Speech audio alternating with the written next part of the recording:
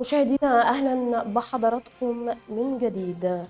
الحقيقة أنه أوضح امبابي في إن أسعار الذهب في مصر تتأثر بسعر صرف الدولار أكثر من تأثرها بالأسعار العالمية للمعدن. هذه العلاقة الطردية تجعل تغيرات الدولار المحلي عاملا رئيسيا في تحديد حركة سوق الذهب وبالتالي بينصح الخبراء المواطنين بضرورة الحذر والتحقق من قيمة المنتج قبل الشراء والابتعاد عن المنتجات التي قد تحمل آه، قيمة ترويجية دون قيمة استثمارية حقيقية. وسط الاتجاهات المتزايدة نحو شراء الورقة الذهبية بسبب إعلاناتها الجذابة يحذر الخبراء بشراء الذهب التقليدي مثل السبائك والجنيهات الذهبية نظرا لاحتفاظها بقيمتها السوقية وتوفيرها ملاذا آمنا للاستثمار.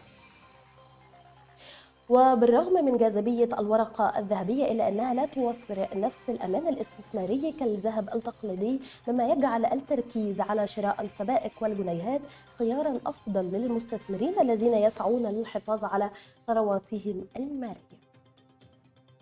كما أنه تواصل أسعار الذهب في مصر تفاعلها في السوق العالمية حيث سجلت الأسعار المحلية اليوم الأربعاء ارتفاعات ملحوظة والتي جاءت كالتالي.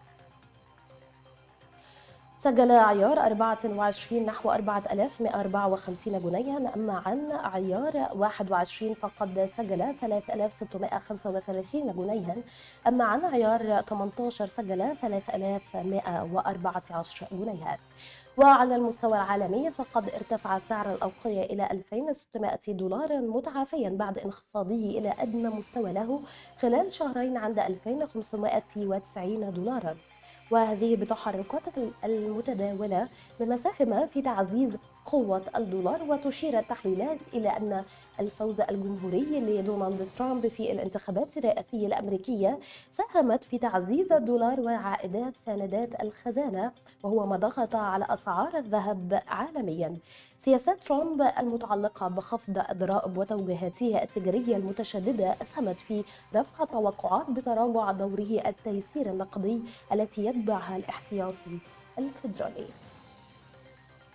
وبحسب التقديرات قد يتم خفض أسعار الفائدة الأمريكية بمقدار 25 نقطة أساس في ديسمبر مقارنة بتوقعات سابقة بارتفاع نسبي. ومن المتوقع أن تستثمر أسعار الذهب في تأثرها بتغيرات سياسية والاقتصاد الأمريكي تبقى النظرة المستقبلية لسوق الذهب مرهونة بتغيرات الأسواق المالية. في ظل ترقب البيانات الاقتصادية الأمريكية الجديدة التي قد تضيف ضغوطا على سعر المعدن الأصفر.